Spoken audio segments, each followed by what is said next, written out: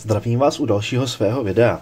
Byl jsem požádán mnoha lidmi, hlavně z řad posluchačů, respektive sledujících mých videí, jestli bych neudělal video o troubleshootingu neboli odstraňování závad eh, v případě Parkside baterií. Já jsem se rozhodl, že to video udělám a jeden z posluchačů mě poslal tyhle ty dva vzorky, které mají být vadný.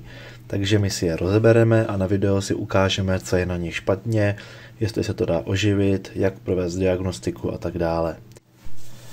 Takže čím začneme?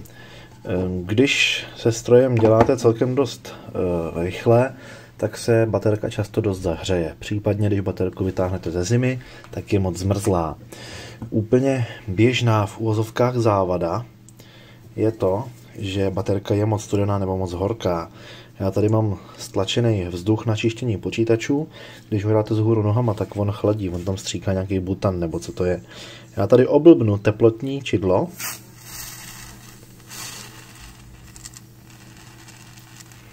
Tak, teplotní čidlo si myslí, že je minusová teplota.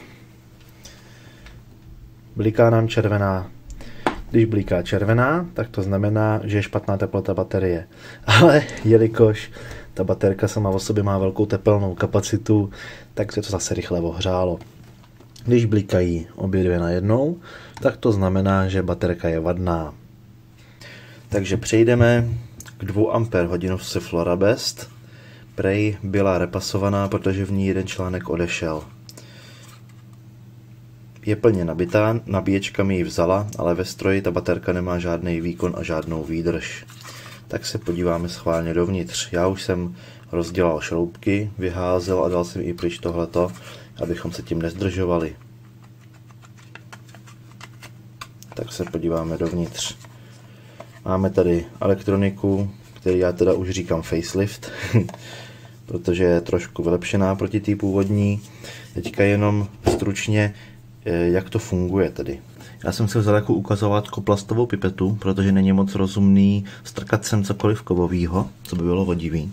Takže tady máme absolutně mínusový záporný pol, to znamená, že tohle je první článek, tohleto. Tady je druhý, třetí, čtvrtý a pátý článek. Takže tady máme nějaký, nějaký plácnu 4 V, nějakých 8 V, nějakých 12 V, 12 plus 4 je kolik? No tak to je přibližně 16 V a přibližně 20 V.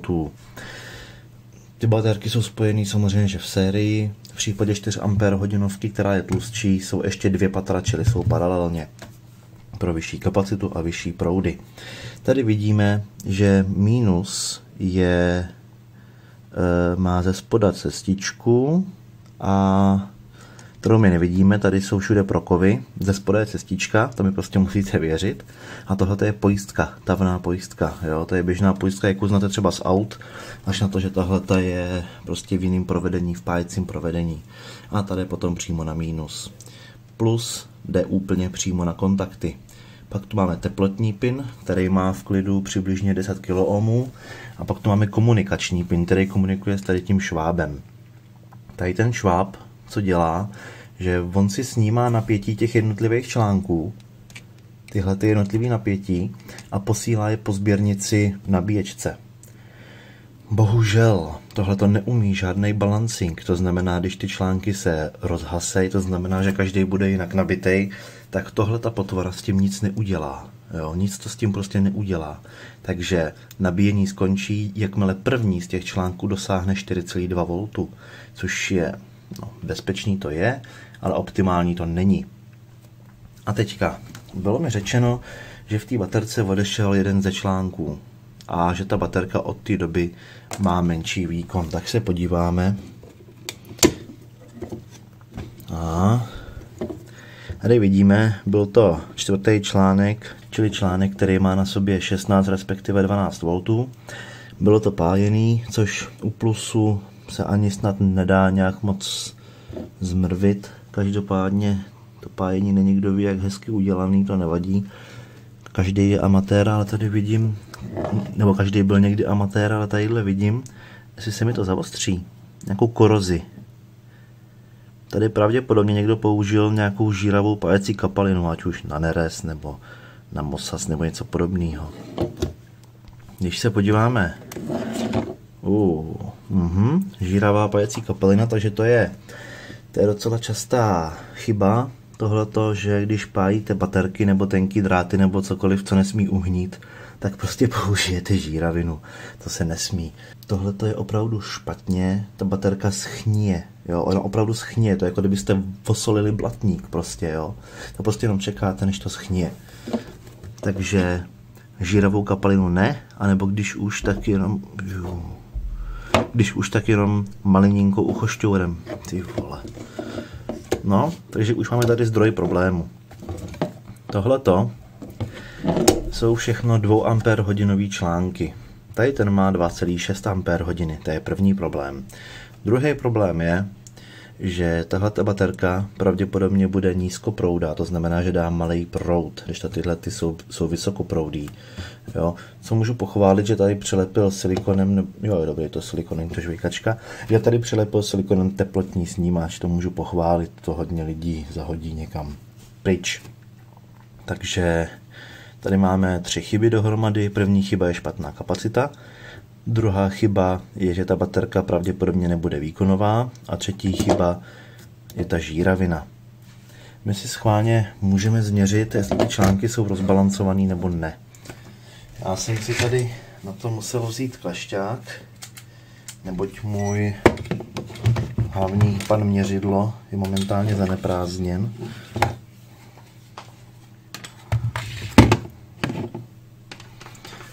Takže článek nejvíc plusový. 3863. Článek repasovaný. 406. Mm-hmm, máme to rozbalancovaný. 3810. 3812. Takže prostě všechny mají nějakých 38 a ten vyměněný má 4,06. Takže co se nám vlastně tady stalo, je to, že ta baterka se nenabije úplně, protože tahle ta baterka prostě z nich bude vždycky nejvíc nabitá. Tady ty budou někde na půlce nebo 3,8, to je kolik nějakých 70% řekněme. A prostě ten stroj nebude fungovat tak, jak má. Pokud chcete měnit jenom jeden článek, ideálně za úplně stejný typ a za podobně starý typ, to znamená, když máte tu baterku relativně novou, tak se to dá, když ji máte starou, tak ty články můžou mít už tak špatný parametry, že, že jakoby netrefíte žádný, který by jim byl podobný. Čili jakoby hledáte co nejvíc podobný článek. Tadyhle bych dal třeba nějaký Samsung 20R, řekněme, který má 2 Ah a je výkonový. Jo, tohleto, tohleto neexistuje. Pak tu máme další baterku. Vy, vy byste řekli, že je 4 Ah hodinová, ale já vám řeknu, že je 3 Ah je to jedna z těch hodně starších, tam vlastně byly 1,5 ampere hodinový články. Vidíme, že je plně nabitá. Byla mi poslána s tím, že má hrozně malý výkon. Já jsem ji opět už ráču rozšroubovat. Vidíme, tady je krásně vidět, že tyhle ty jsou vzájemně v sérii a tyhle ty jsou vždycky vzájemně paralelně. Jo? Elektronika, podobný provedení. Uuu, podívejme, podívejme na to. Co pak to tu máme? Je samozřejmě pojistka. Tady už je teda krásně vidět, že je připojená s mínusem. Tady se nespolíhají jenom na prokovy a cestičky z druhé strany. Tady to mají vyloženě pravděpodobně už úplně obou strany, což je dobře. Protože ona tam je přeci jenom někdo jak tlustá na té DPSC, ale tohle to, to je pěkně vyhřátý. Podívejte na to. A i změklý to je.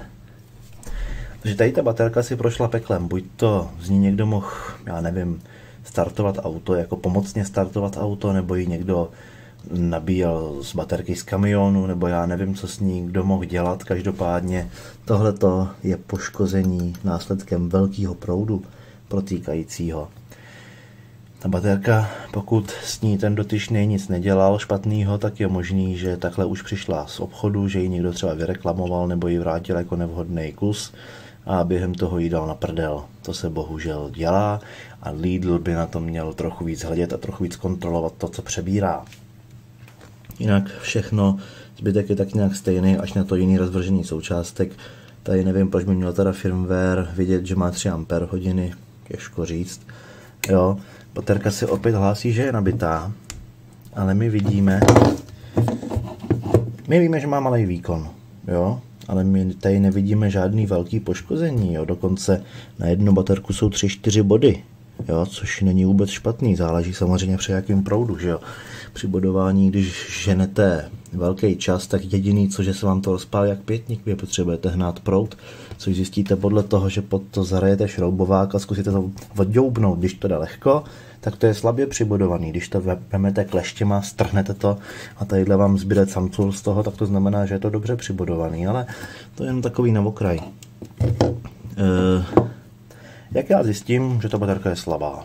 Můžu to zjistit pocitově, a nebo to můžu zjistit trošku exaktně. Takže, co jsem teďka udělal mimo kameru je to, že jsem si vzal umělou laboratorní zátěž. Vy můžete použít samozřejmě třeba i nějakou autožárovku 24V, takže třeba 12V dvě v sérii a budu z ty baterky tahat nějakých 9 A. Zapíšu si původní napětí, což je 20,88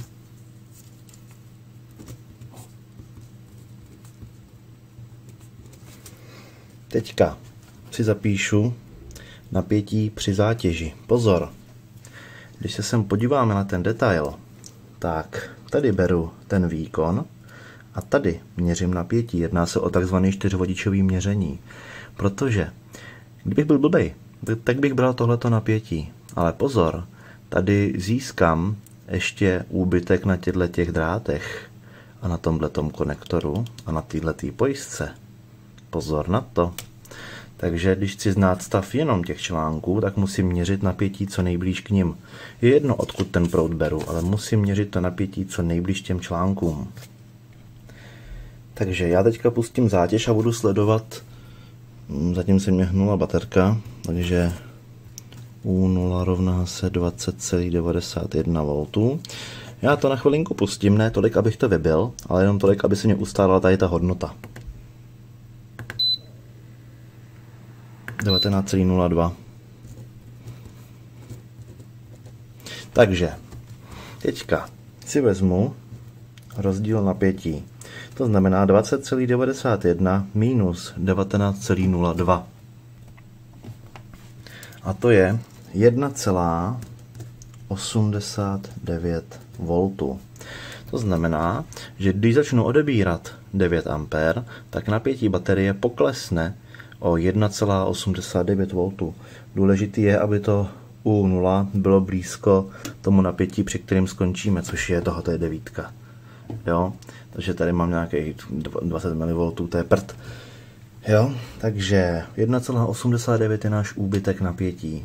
A při proudu 9 A to činí, jak se spočítá odpor, velice jednoduše 1,89 V děleno 9 ampérama je 210 miliohmů. Takže tahle ta baterka má 210 miliohmů, což je docela dost, ale nám to nic neřekne, když ji nemáme s čím porovnat. Teď jsem si rozebral 4 Ah baterku, kterou mám ze všech nejdíl, takže U0 je 20,62 V a budeme měřit při 9 amperách opět 19,58 takže 20,62 minus 19,58 je 1,04 V. Delta U rovná se 1,04 V.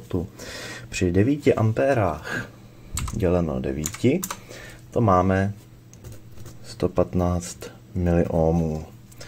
Takže když to porovnáme s tou 3 Ah hodinovkou, tak zjistíme, že ta 3 Ah hodinovka má dvojnásobný vnitřní odpor. To může být způsobený jenom těma článkama, jelikož my jsme měřili napětí vždycky před pojistkou a před konektorem. Jo? Kdybychom měřili napětí třeba až tady, tak měříme odpor tohodle, těch článků, tohodle po cestě, odpor konektoru, odpor mýho banánku, odpor tohodle drátu. A to my nechceme, my chceme jenom tohleto. Takže my měříme napětí co nejblíž těm baterkám. Odkud berem prout je úplně jedno. Ale je tu ještě jeden faktor a to je faktor, který by to mohl potenciálně zhoršit. A to je úbytek na pojistce. Schválně tady odpojím a tohleto dám sem de facto, takže budeme měřit úbytek mezi páskem článku a samotným mínusovým konektorem, že je tam teďka nula, je velice dobře, kdyby tam teďka při žádným protékajícím proudu něco bylo, tak by to bylo opravdu divný, aby tam abych zavolal kněze. Takže jdeme na to. Pustíme tam nějaký proud. Úbytek je 26,6 mV. To znamená, že odsaď tudy má podsaď je 26 mV při nějakých 9 A. To si schválně můžeme spočítat. 0,026 děláno 9. Takže tahle ta cestička samotná má nějaký 3 miliohmy. To znamená, že je zanedbatelná vzhledem k tomu, že celý článek má 115. Ale my si ještě schválně změříme úbytek na té pojistce u té 3 Ah. Tak, opět jsem v jednom střihu vyměnil baterku, dal jsem tam tu 3 Ah a teďka si ověříme, jaký vliv na odpor tadyhle po cestě má tady ten hnus. Takže jdeme na to. Bum. Overload. Ale no tak. 71 mV mm-hmm. při 8,7 ampérách. Takže to máme odpor 8 miliohmů. To znamená, že tady ta částečně prošlehlá pojistka má nějaký 2,5 krát větší odpor než dobrá pojistka. V tohoto chvíli my se o ní nemusíme starat, protože proti celkovému odporu 210 miliohmů je tohle jako když tanku upadne matka. Každopádně my víme, že tahle ta baterka na tom není kdo ví jak nejlíp a že její výkon, pozor, ne výdrž, výkon, bude srovnatelný s 2 Ah hodinovou baterkou, protože má dvojnásobný vnitřní odpor než co 4 Ah hodinovka a 2 Ah hodinovka má samozřejmě taky podobný odpor. Takže závěrem zjistili jsme, že tady ta 3 Ah hodinovka je velice slabá, že je vhodná jenom pro nějaký trakční účely. Mimo kameru jsem ji ještě změřil kapacitu, má 3,003 Ah, takže to je naprosto v pohodě. Takže kapacita je v pohodě, ale její vnitřní odpor je opravdu špatný. Co dělat, když zjistíte, že napětí jednotlivých článků je různý, že například jeden z nich má méně, což bývá tady ten, a se toto nějak vyřešit. Můžete ho ideálně nabít z laboratorního zdroje, to znamená nastavíte si stejný napětí, jako mají tyhle ty ostatní, připojíte ten laboratorní zdroj semdle a necháte ho nabít. V domácích podmínkách vám ukážu asi nejbezpečnější způsob, který můžete udělat, který nic nezničíte. V domácích podmínkách máte pravděpodobně nejlepší vzít si nějaký čínský USB kabel, ušmiknout z něj konec a odholit si jednotlivý drátky. Odholil jsem si ty jednotlivé drátky. Teďka musím zjistit, kde je plus a kde je mínus. Na co si vezmu? Můj odhad je, že ten růžový bude plus. Takže já to udělám schválně přesně obráceně u voltmetru. Chyť se ty potvoro. To udělám schválně přesně obráceně, protože vám na displeji taky nemusí fungovat symbol mínusu, takže je jistější, že když vidíte symbol mínusu, že to je tak. Takže vidíme opravdu, jako z tohle zemaní napětí, že ta powerbanka zrovna sensuje. Jo. Teď se mi zapnul a má pět. Takže tady vidíme, že opravdu to ukazuje minusový napětí, čili tady to růžový je opravdu plus. Co já udělám? Já si vezmu nějaký odpor nebo cokoliv, co mě omezí ten protékající proud. To znamená odpor aspoň nějaký 3 ohmy nebo nějakou žárovičku, řekněme.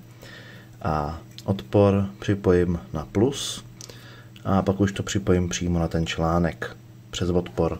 Během toho si monitoruju voltmetrem napětí toho článku, během toho nabíjení z USB a jakmile ten článek dosáhne stejných napětí, jako jsou ty ostatní, tak to moje nabíjení ukončím a samozřejmě odpojím z USB, abych si neskratoval žádný, žádný počítač nebo základní desku. Takže takhle si v amatérských podmínkách nabijete jeden z těch článků. Opravdu nedoporučuju v žádném případě tu baterku nabíjet jako celek, takže k ní připojíte jinou. Nedoporučuju připojovat USB přímo na ten článek, ani žádný další kraviny. Z těch amatérských možností, kdy nemáte laboratorní zdroj, je tohle ten asi nejbezpečnější. Nějakou žárovku nebo nějaký odpor, který má aspoň řekněme nějaký 3 ohmy, tož ten nemá, a to je teďka jedno, to bylo pro demonstrační účely a použijete ho do cesty pro nabíjení toho článku a samozřejmě, že ho musíte u toho monitorovat, jeho napětí, aby z toho nepřebyli.